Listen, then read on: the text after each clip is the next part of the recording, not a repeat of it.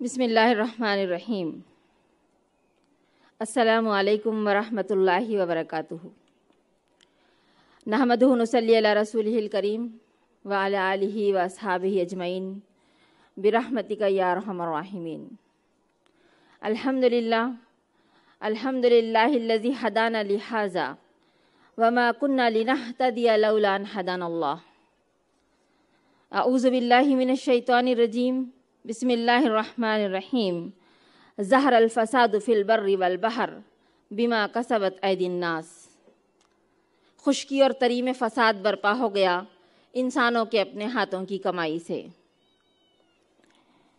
آج جس موضوع کے تحت میں آپ کے سامنے کچھ باتیں رکھنا چاہوں گی وہ ہے ملک کا سیاسی و سماجی منظرنامہ اور ہمارا رول اس وقت ہمارا ملک بڑے ہی نازک دور سے گزر رہا ہے۔ حالات بد سے بدتر ہوتے جا رہے ہیں۔ دستور ہند نے ہر شہری کو جو بنیادی حقوق دیے ہیں، وہ بری طرح پامال ہو رہے ہیں۔ دہشت گردی اور بربریت کا ہر طرف مظاہرہ ہو رہا ہے۔ انسانی خون ارزاں ہو گیا ہے۔ بے گناہ پکڑے جا رہے ہیں تو مجرم آزاد گھوم رہے ہیں۔ یہ جو عنوان جس کے بارے میں میں نے آپ کے سامنے بھی رکھا ہے، تو یہاں خاص طور سے میں ان گوشوں کی طرف توجہ مبزول کرانا چاہوں گی، جس میں خاص طور سے خواتین کے لیے اب سیاسی اور سماجی سطح پر کیا کیا تبدیلیاں آ رہی ہیں اور کس طرح کا منظر نامہ ابھر رہا ہے اور اس میں ہم سب کا کیا رول بنتا ہے۔ عالمی سطح پر خواتین کے تحفظ اور حقوق کے معاملے میں ہمارا یہ جو بھارت ملک ہے وہ ایک سو چھتیسویں نمبر پر ہے۔ گزشتہ دو سالوں میں ایک لاکھ سے زائد ریپ ہوئے ہیں، زنا بالجبر کے واقعات ہوئے ہیں۔ تین لاکھ اڑتیس ہزار سے زیادہ کرائم اگینسٹ وومنس ہوئے ہیں۔ دنیا بھر میں کی جانے والی خودکشیوں میں فورٹی پرسنٹ خودکشیاں بھارتی خواتین کی ہیں۔ بین طبقاتی شادیوں میں سینکڑوں معصوم مرد اور عورتوں کے دردناک قتل ہو رہے ہیں۔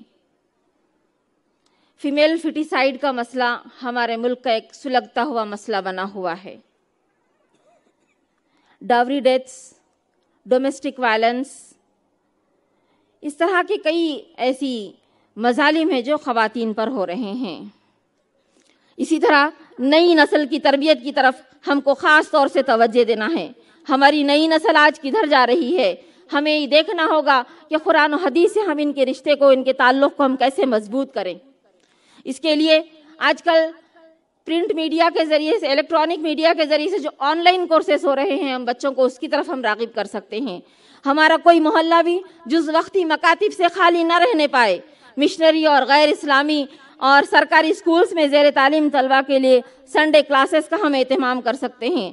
چھٹیوں میں مختصر مدتی کورس، ہفتہ روزہ یا پندرہ روزہ کورس کے ذریعے سے بھی ہم اپنے بچوں کو اسلامی تعلیمات کی طرف ہم راغب کر سکتے ہیں۔ اسی کے ساتھ ساتھ ہمیں اجتماعیت سے اپنے تعلق کو مضبوط کرنا ہوگا۔ ہم اجتماعیت سے جڑنے والے بنے۔ ہم کو ایک اجتماعیت سے جڑ کر رہنا ہے۔ اس لیے کہ آپ صلی اللہ علیہ وسلم نے ارشاد فرمایا کہ اجتماعیت پر اللہ کا ہاتھ ہوتا ہے۔ اگر تم تین لوگ بھی سفر کر رہے ہو تو اس میں سے ایک کو اپنا امیر بنا لو۔ آج ہماری ملت جب اجتماعیت کی بات آتی ہے، تو ہمارے ذہن میں یہ سوال آتا ہے کہ یہاں اتنی جماعتیں ہیں، تبلیغی جماعت اور یہ جماعت، فلاں جماعت اور جماعت اسلامی، یہ ہم کہاں جائیں؟ کون سی جماعت میں جڑے؟ اتنی جماعتیں کیوں ہیں؟ اس کا جواب مولانا مودودی علیہ رحمہ شہادت حق میں دیتے ہیں کہ جب اسلامی نظام پوری طرح ختم ہو چکا ہو اور اسے پھر سے نافذ کرنے کا، پھر سے اس کو قائم کرنے کا معاملہ ہو تو فطری بات ہے کہ اس طرح کی کئی جماعتیں، کئی تنظیمیں اٹھیں گی اور وہ کام کریں گی۔ دین کا کام کرنے والے سب حقیقت میں ایک دوسرے کے مددگار ہیں اور انہیں، ان سب کو آپس میں ایک دوسرے کا مددگار سمجھنا چاہیے۔ اگر ہم اخلاص کے ساتھ کام کر رہے ہیں تو ہمیں خوش ہونا چاہیے کہ ہمارے علاوہ بھی اور کوئی ہے جو اللہ تعالیٰ کے اس پیغام کو لوگوں تک پہنچا رہا ہے۔ کلمات خبیصہ کی اشاعت کرنے والوں کے مقابلے میں کلم طیبہ کی اشاعت کرنے والے ہمارے لیے زیادہ محبوب ہونے چاہیے۔ تو ہم کو جو اجتماعیت پسند آ رہی ہو، ہم اس اجتماعی سے جڑ جائیں، جڑ کر اس معاشرے کو، اس سماج کو ہم درست کرنے کی ہم کوشش کریں۔ اور ساتھ ہی برادران وطن اور ہم وطنی بہنوں تک اسلام کی تعلیمات کو ہم پہنچانے والے بنیں۔ تو یہاں ہمیں اجتماعیت سے جڑ کر کاموں کو انجام دینا ہے۔ پھر ساتھ ہی ہمیں اس بات کی طرف بھی متوجہ ہونا ہے کہ ہم ہم کو ایک دن اس دنیا سے جانا ہے۔ یہ دنیا کی چند روزہ زندگی ہے جہاں پر ہم اور آپ سب ایک امتحان گاہ میں ہیں۔ سب کا امتحان چل رہا ہے۔ یہ آخرت کے مقابلے میں دنیا کی زندگی چند روزہ زندگی ہے۔ یہاں پر لم یلبس الا اشیتا او زحاہا جب ہم آخرت میں دیکھیں گے تو یہ دنیا کی زندگی ہمیں ایسا لگے گا جیسے صبح کی ایک پہر یا شام کی ایک پہر ٹھہر کر آئے ہیں۔ اگر ہم اس مختصر زندگی میں اللہ اور اس کے رسول کی تعلیمات کو پس پشت ڈال کر اگر ہم کام کرتے ہیں تو یہاں ہم دنیا میں تو کچھ دن جی لیں گے، لیکن وہ آخرت کی لا متلاحی لا زوال وہ زندگی وہاں پر ہمارا کیا حال ہوگا؟ تو ہم اس بھٹکتی ہوئی انسانیت کو بھی راہ راست کی طرف لانے کی کوشش کریں اور ہم اپنے اسلام کی تعلیمات کے مطابق اپنی زندگیوں کو گزارتے ہوئے اپنے اس دیے ہوئے اللہ تعالیٰ نے جو ہمارے لیے وقت مقرر کیا ہے اس میں ہم اپنی زندگیوں کو بہتر بنانے کی کوشش کریں۔